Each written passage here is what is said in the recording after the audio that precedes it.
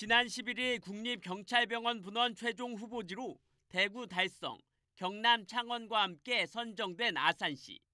다음 달 2일 경찰병원 분원 부지평가위원회의 아산 지역 현장 실사를 앞두고 박경규 아산시장과 김희영 시의회 의장 그리고 이명수 국회의원이 국회를 찾아 경찰병원 분원 아산 건립에 한 목소리를 냈습니다.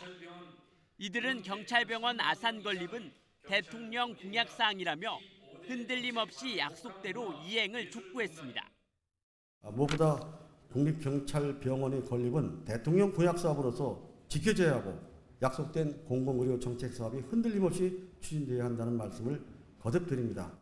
이어 박 시장은 아산시가 제시한 경찰병원 분원 부지 인근에는 경찰 인재개발원과 경찰대학 등 경찰 종합타운이 자리 잡고 있어 연계성도 좋을 뿐더러 KTX와 고속도로 등 전국적으로 접근성이 뛰어나다며 아산 건립의 당위성을 내세웠습니다.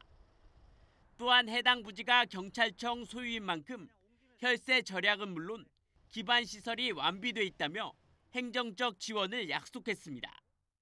두 도시와 달리 부지 매입이나 교환 절차를 밟을 필요가 없습니다.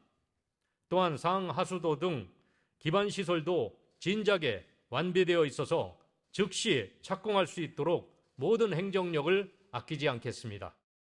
아울러 김 의장은 공공의료 인프라가 턱없이 부족한 중부권의 문제를 해결하기 위해서는 아산이 최적지라며 중부권 거점 재난병원의 필요성을 강조했습니다.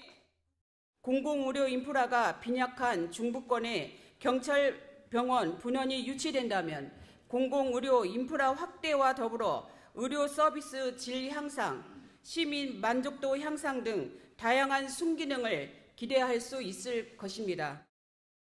한편 국립경찰병원은 모두 550병상 규모로 약 2,500억 원이 투입될 예정이며 최종 선정지는 다음 달 중 발표될 전망입니다.